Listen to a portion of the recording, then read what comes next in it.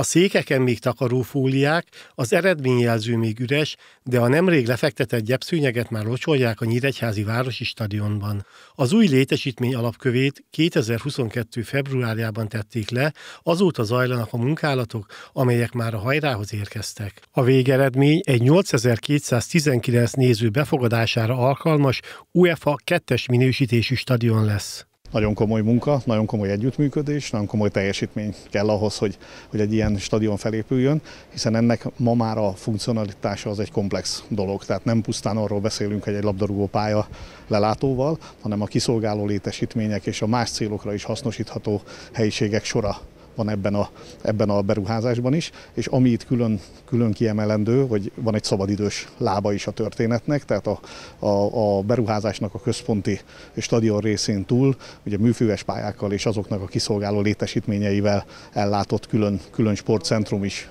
létesül, megújul, illetve, illetve szolgálni fogja majd a, a nyíregyházi közönséget, illetve az itt sportolni vágyókat. Hát ennek a megvalósításához kellett az az intenzív együttműködés, ami, ami, ami mérnök, kivitelező, tervezők mindenkinek a közreműködésével hozta el ezt a gyönyörű eredményt.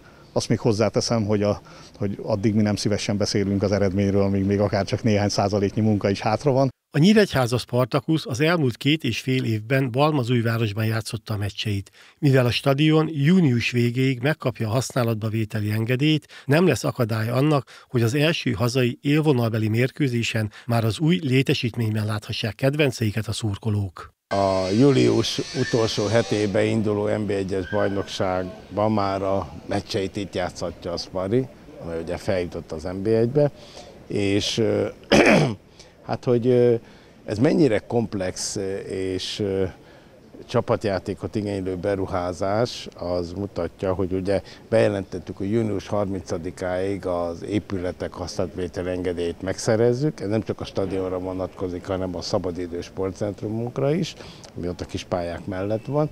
Addig elkészül még három műfőves kispálya, elkészül a stadion körül a, a rekordtávfutópálya, de az eszközbeszerzések eh, folynak, és a beszállítások, amik önmagában több mint 1,2 milliárd forintos beszerzést jelentenek, és öt különböző közbeszerzési pályázatot kellett indítani ennek érdekében. Teljes körűen minden augusztus 30-áig lesz kész. Az új stadionban 9 skybox, valamint egy 341 férőhelyes VIP rész is várja a szurkolókat. Egy 150 fős konferenciaterem és az étterem különböző rendezvények lebonyolítására is alkalmassá teszi az augusztus végére teljesen elkészülő létesítményt.